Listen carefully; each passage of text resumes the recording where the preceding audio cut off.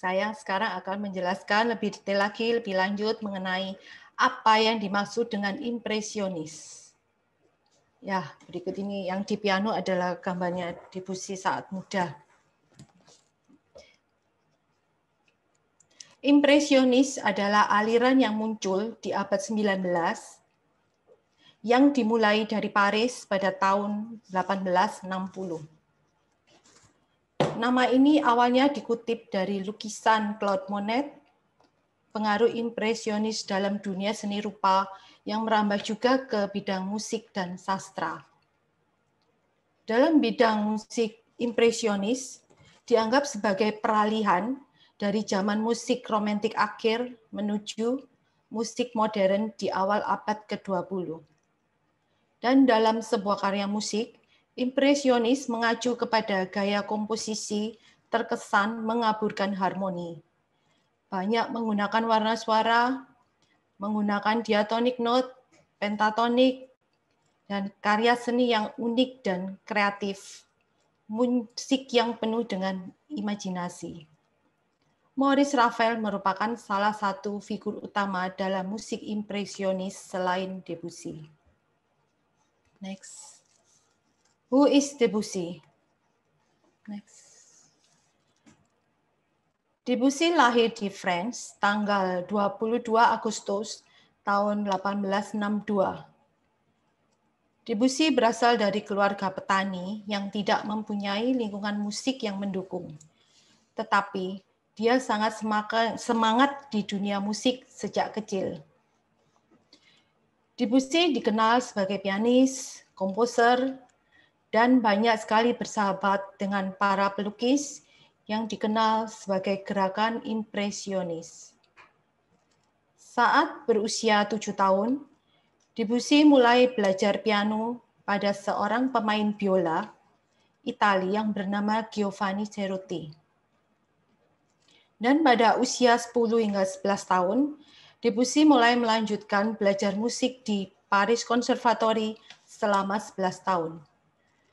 Dan di sana dia belajar komposisi dengan Ernest Guiraud, kemudian belajar teori dengan Louis Albert, dan Debussy bertemu dengan Erik Satie, salah seorang musisi yang eksentrik. Guru piano Debussy, Marmontel, tidak mengerti kenapa Debussy bereksperimen dengan harmoni dan melodi yang semuanya bertentangan dengan prinsip-prinsip teori musik pada saat itu. Dan mereka membutuhkan waktu untuk memahami bakat yang luar biasa dari seorang Debussy. Debussy meninggal pada usia 55 tahun di mana selama bertahun-tahun dia hidup menderita karena terserang kanker. Tetapi masih mampu melahirkan karya musik yang terkenal seperti La Mer yang berarti laut, Claire de Lune yang berarti terang bulan. Next. Berikut foto-foto dari Debussy serta teman dari Debussy. Ernest Guiraud, Louis Albert, Anthony Marmontel, serta Eric Satie. Next.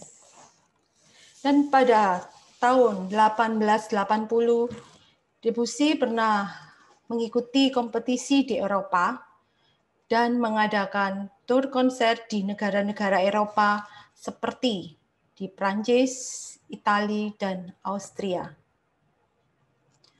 Pada tahun 1881 hingga 1882, Debussy bekerja di Von Meck Estate, Rusia. Kemudian pada tahun 1885, Debussy memenangkan Prix de Rome, adalah suatu penghargaan bergengsi di bidang seni, dan dia membawakan karya kantata L'Enfant Prodigue antara tahun 1888 hingga 1889 diadakan suatu pameran di Paris World Exhibition yang kemudian Debussy terinspirasi dengan gamelan Jawa. Next. Debussy Works. Dalam kehidupannya, Debussy membuat karya-karya untuk alat musik piano, solo, maupun duet, vokal, konserto, dan orkestra. Dan semuanya terbagi menjadi tiga. Yang pertama disebut dengan Herlip Works di tahun 1879 hingga 1892. Karya-karyanya adalah sebagai berikut. 30 vocal works, piano trio, bohemian dance, for duo piano, 9 solo piano termasuk dua arabes, mazurka, suite Bargasmus, dan Claire de Lune, serta Nocturne, dan lain-lain. Next. Di middle period, uh, di middle works-nya tahun 1893 hingga 1905, karya Debussy sebagai berikut, satu string quartet, delapan solo piano, image set yang satu, enam vokal, opera, choral, suite for piano, dan lain-lain. Dan di late works-nya tahun 1906 sampai 1917 lebih dari 10 solo piano termasuk prelude yang hari ini akan saya bahas 12 etude, image set 2, rhapsody, 6 vokal, 3 ballet, cello sonata, cello, harp, flute and viola, and violin sonata. Next. Debussy Preludes. Debussy Prelude terdiri dari dua buku, di mana setiap bukunya terdiri dari 12 nomor. Buku yang pertama ditulis antara tahun 1909 hingga 1910. Dan buku yang kedua antara tahun 1912 hingga 1913. Debussy Prelude formnya bebas. Banyak sekali tanda-tanda ekspresi untuk membuat perubahan warna suara. Sedangkan prelude di zaman dahulu, di zaman barok, adalah sebagai pembukaan lagu sebelum memulai karya lainnya yang lebih besar. Next.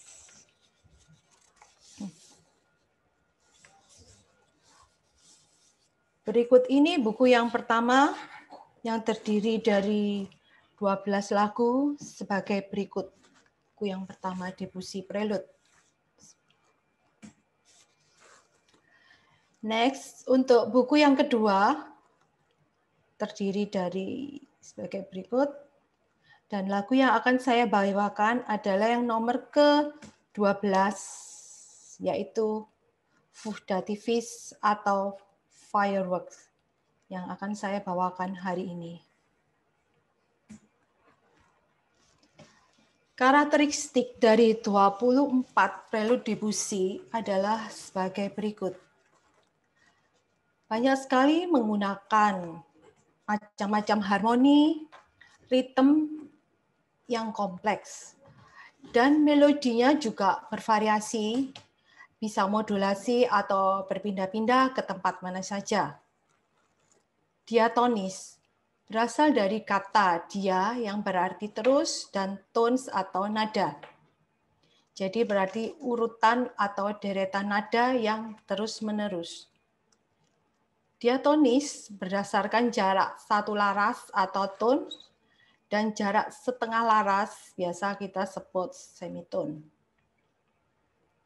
Sedangkan pentatonis adalah lima nada dalam satu oktav. Kemudian di sini juga terdapat penulisan tiga staff. Bisa kunci G, kunci G, kunci F, ataupun kunci G, F, F.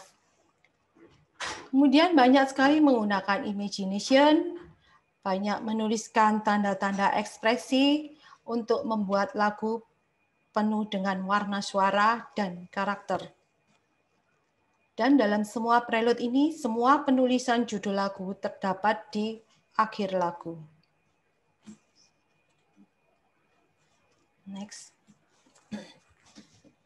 Berikutnya saya akan masuk ke struktur di mana struktur lagu dari Fireworks saya membagi menjadi tujuh bagian, yaitu bagian A, kemudian transition, bagian B, C, D, E, dan ending. Lagu Firework menutup ke-24 prelude Debussy yang menceritakan tentang pesta kembang api yang sangat meriah seperti suatu festival di Prancis yang dikenal dengan Bastille Day dan diperingati setiap tanggal 14 Juli. Next, saya akan membahas tentang serta uh, bisa di mute. ya, saya lanjutkan tentang struktur serta analisa dari lagu. Kita masuk di buku 2 nomor 12, mungkin partiturnya bisa dibuka juga. Oke, okay, next.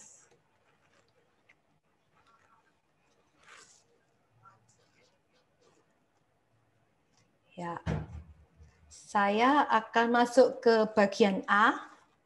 Di bagian A ini terdapat satu flat biasanya di F major atau di D minor.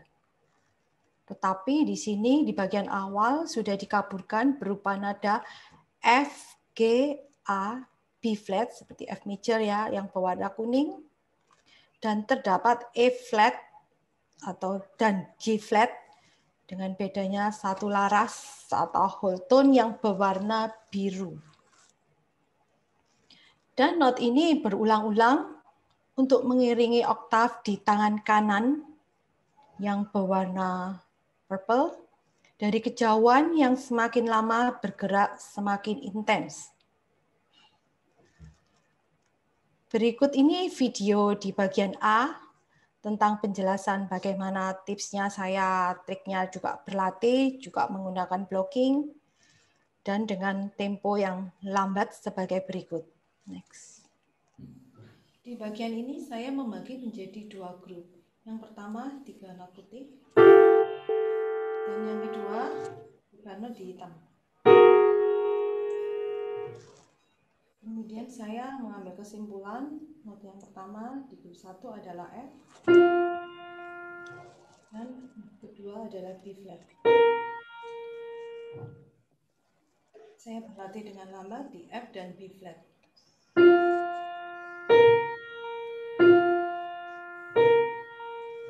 Kemudian saya memainkan lengkap di F dan G flatnya.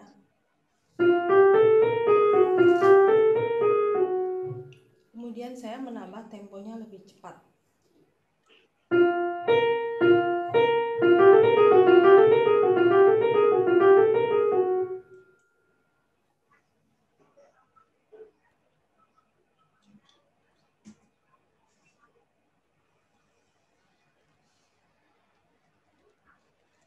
Kemudian tangan kanan muncul oktav di nada D seperti yang warna purple dan E flat.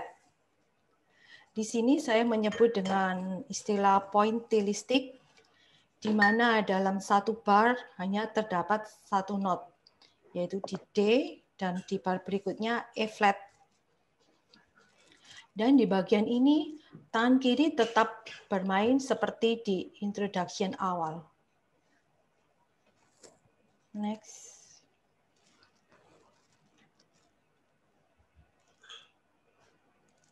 Kemudian tiba-tiba muncul tanda merah yang markato aksen, jadi keras. Nadanya C dan D, jadi membentuk whole tone diiringi dengan tangan kirinya accompaniment seperti di awal juga dengan suara yang halus. Sedangkan oktav di tangan kanan D dan E flat semakin lama semakin intens, semakin bergerak maju dan semakin keras. Di sini saya menyebutnya dengan teknik telescoping, yaitu dalam satu bar terdapat dua not di D dan E flat dan semuanya bergerak semakin maju. Berikut ini adalah contoh video di not D dan E flat dari yang lambat dan semakin cepat. Next.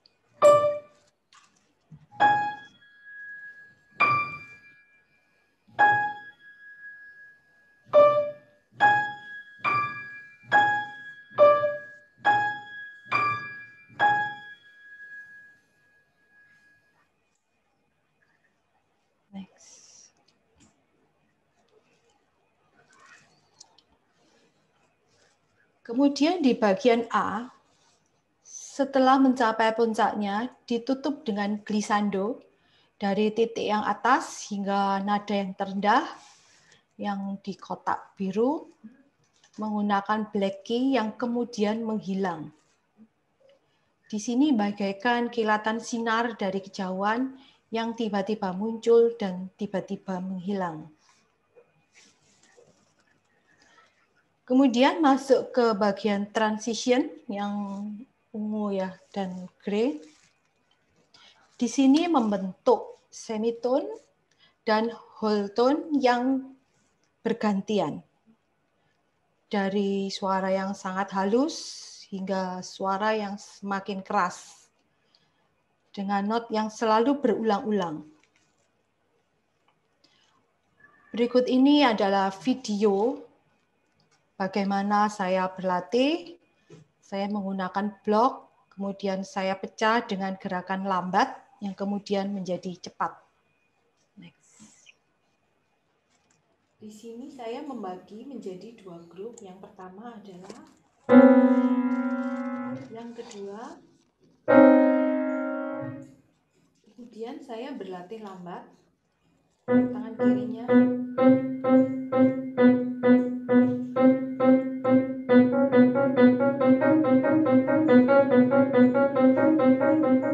Kemudian saya menambah temponya.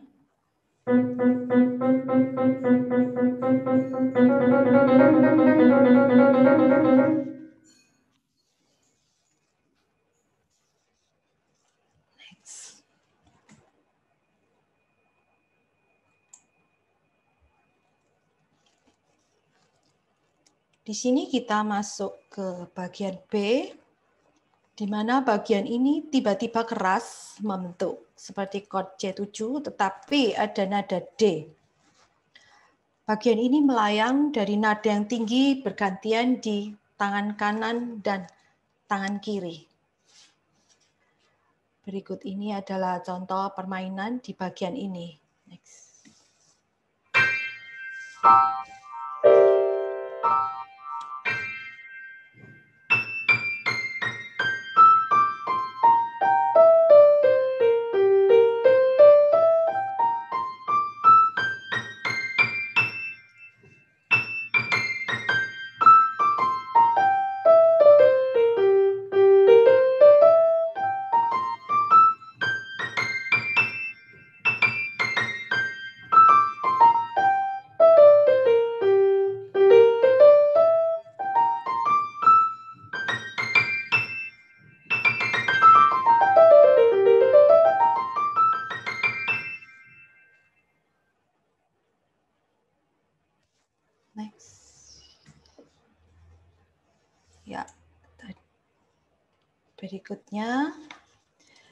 Di bagian ini pertama kalinya mulai muncul tema di nada C.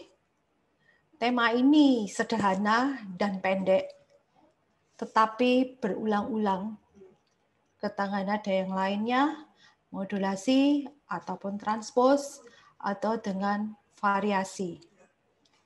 Di sini saya menyebut dengan metode thematic transformation. Berikutnya ini video bagaimana tema yang pertama kali muncul dari lagu ini.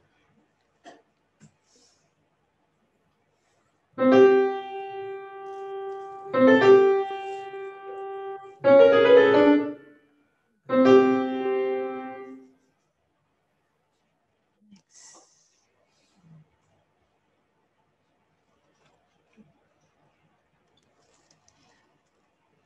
Di bagian ini muncul lagi tema dengan perubahan suasana, karakter, dan iringan. Akompanimennya juga berubah menjadi lebih mengelegar, lebih keras.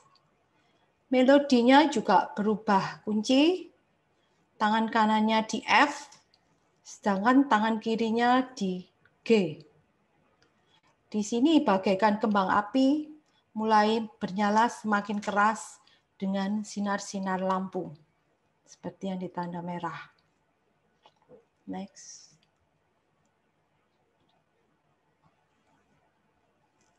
Di bagian ini kelanjutan dari tema tadi. Di sini membentuk seperti pentatonik, di mana ada nada-nada yang tidak dibunyikan. Di bagian ini saya berlatih sebagai berikut. Saya menyimpulkan notnya terlebih dahulu, saya blocking dan saya berlatih lambat dan menggunakan rhythm. Di sini saya membagi menjadi dua grup. Yang pertama, kedua,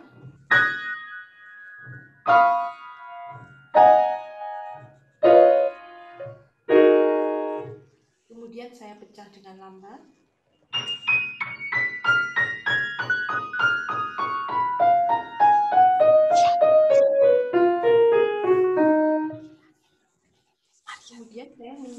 Menyimpulkan menjadi dua nada yang sederhana. Mana diulangi?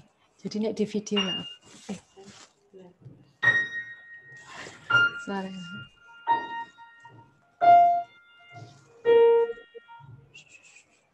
Kemudian saya bermain lengkap. Saya mulai di F dan saya selesaikan di G. Saya mulai di F, saya berakhir di F.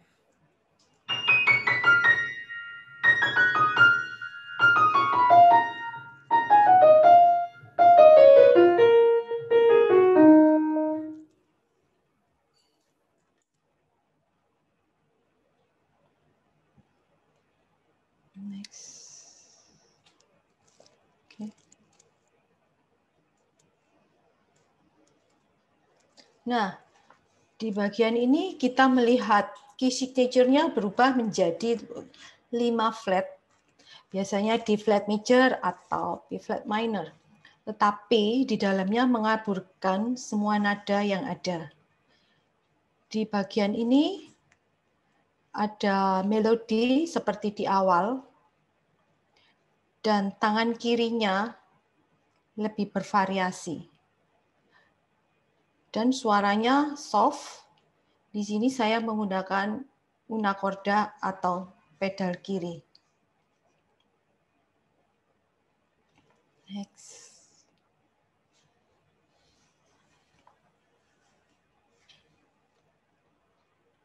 Berikut ini kita masuk ke bagian C.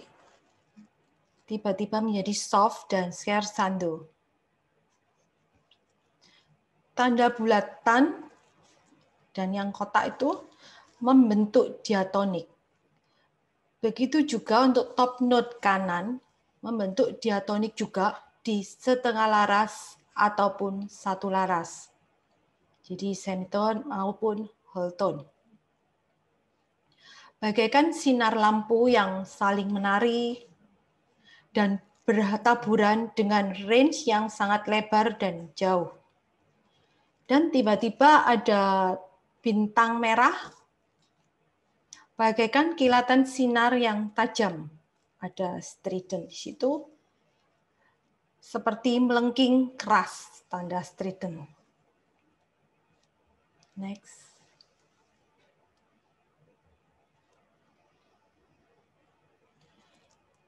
Di bagian ini kita masuk ke bagian D, di mana temponya lebih nyaman, lebih bergerak dengan flowing. Di dalam arpeggio di atas, saya membuat top note D. Yang saya tanda bulatan, C sharp, C, C sharp, D, F sharp, E, G sharp, dan F sharp. Seperti contoh berikut ini.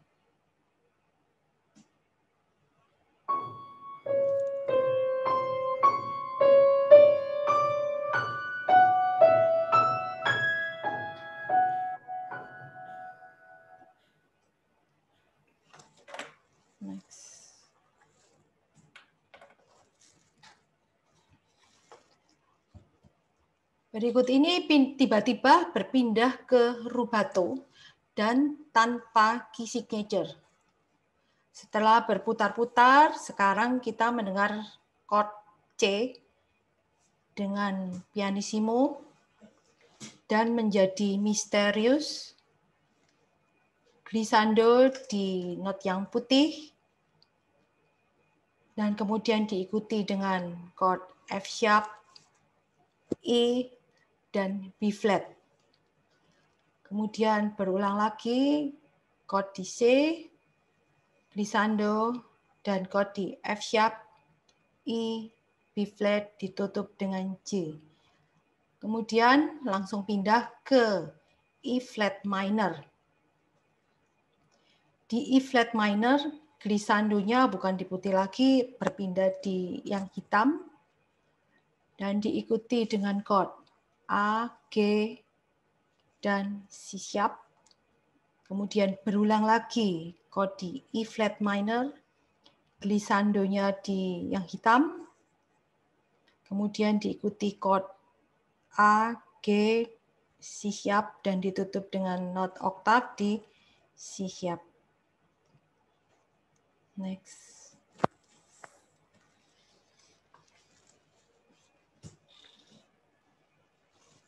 Nah, pada bagian ini muncul kembali seperti di tema awal yang bulatan merah, tetapi dengan oktav oktav suaranya halus, soft. Kemudian tiba-tiba muncul incisive rapid, tiba-tiba bergerak menjadi sangat keras, fortissimo. Cepat dan tajam yang kemudian berlanjut dengan tanda fermata. Setelah itu ada quasi kadensa, di mana seolah-olah seperti kadensa. Bagian yang di kotak ungu membentuk arpeggio di F major. Sedangkan di tangan kiri membentuk diminis di E flat 7. Bagian terakhir di E flat major dengan tangan kanan di F major. Jadi di sini tangan kanan berada di white key, sedangkan semua tangan kiri yang tanda kotak kuning semuanya di black. Berikut contoh permainan saya dengan lambat di bagian ini sebagai berikut.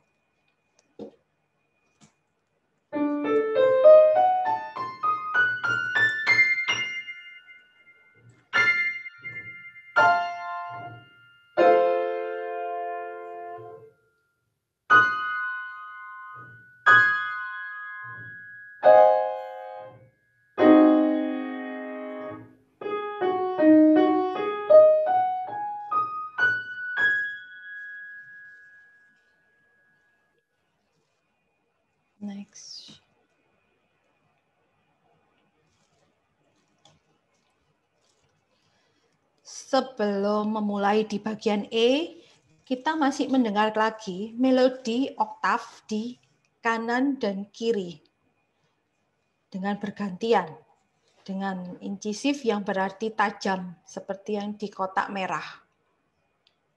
Sedangkan yang di kotak kuning dari 6 siap kemudian langsung berubah pindah menjadi tanpa key signature.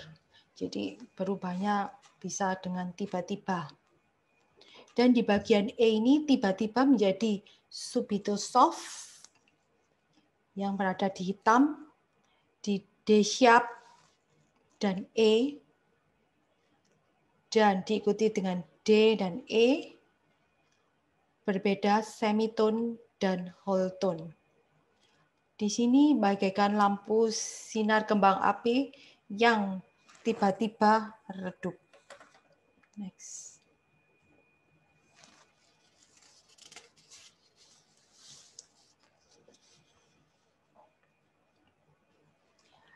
Di bagian ini muncul Moffat lagi yang berarti tempo broader, temponya menjadi lebih luas dan ada eklatan yang berarti sparkling. Di tanda merah muncul lagi melodi tetapi dengan keras, oktav, dan brilliant, penuh semangat, dan range-nya sangat luas dari ujung bawah, titik yang tertinggi, membentuk melodi di C. Dan melodi ini ditutup dengan sangat keras di kotak yang berwarna merah terakhir dan jelas yang kemudian tiba-tiba menjadi soft di black yang berwarna kuning. Berikut video permainan melodi oktav yang tajam dan diikuti dengan suara soft bagaimana saya berlatih sebagai berikut.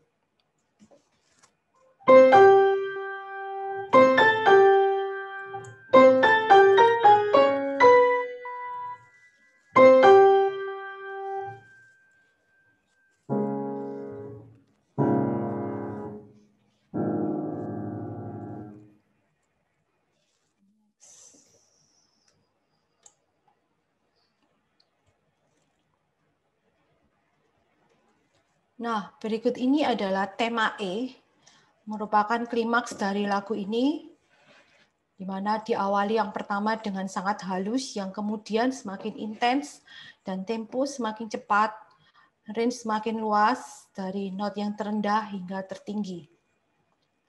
Dan lagu ini bagian yang fortissimo, menggunakan chord di dari depan hanya ini aja yang benar-benar full chord dan sangat keras.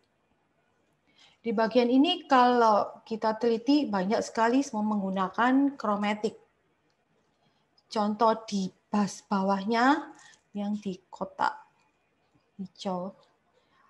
Berurutan ya, kromatik di E flat, E, F, dan F, F sharp. Kemudian yang tanda biru juga berurutan nada yang atas dari J, G sharp, E, dan E sharp. Dan di tanda yang merah, melodi, bila kita teliti juga membentuk suatu urutan dari C, C sharp, D, dan D sharp. Di bagian kuning, ternyata juga bisa berurutan dari E flat, E, F, dan F sharp. Jadi dengan tanda-tanda ini mempermudah kita mencari petunjuk, mempermudah kita untuk berlatih. Di bagian ini seperti suasananya itu sangat meriah, ramai, terang berhamburan dengan letusan kembang api yang berwarna-warni. Berikut adalah contoh video bagaimana saya berlatih. Next.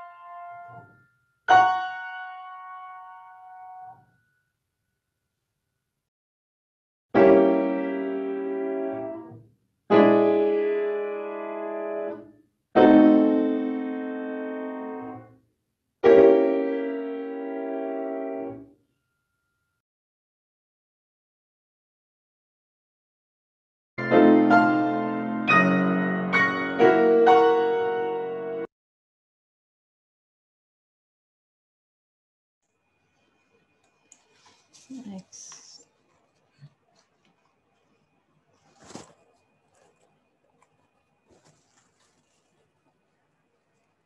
Berikut ini kita memasuki bagian penutup. Tiba-tiba semuanya menghilang.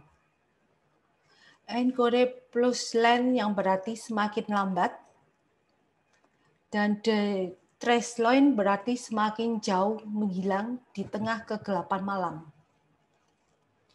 Di bagian ini tanpa tanda signature, tetapi tangan kiri berada di D flat dan E flat dengan suara yang sangat halus.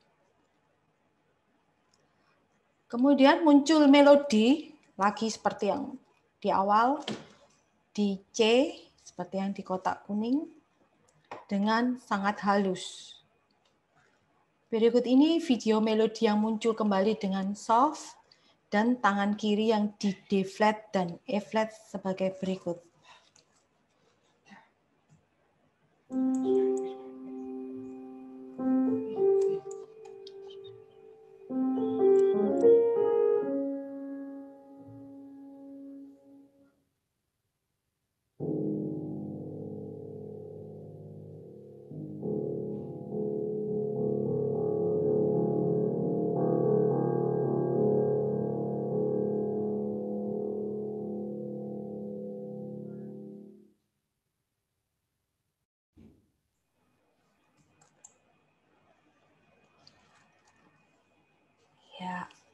Kita menyelesaikan menganalisa bagaimana ya kira-kira kesimpulannya, conclusionnya dari Debussy maupun dari Firework. Next. Di sini saya menyimpulkan bahwa Debussy adalah salah satu komposer terkenal di akhir abad 19 dan di awal abad ke-20 dan dikenal sebagai pendiri musik impresionis yang memiliki dampak besar dalam perkembangan dan kemajuan musik di Eropa. Banyak sekali inovasi-inovasi musik, ide kreatif, karya seni yang unik yang telah dia ciptakan. Debussy mencari cara-cara baru untuk berekspresi dan gaya musiknya yang unik menggabungkan impresionis dari lukisan dan puisi.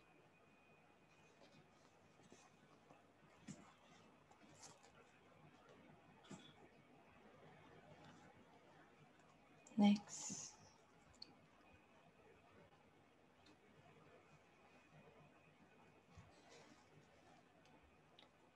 Kesimpulan saya dalam lagu Firework ini banyak sekali menggunakan pentatonik ataupun diatonik.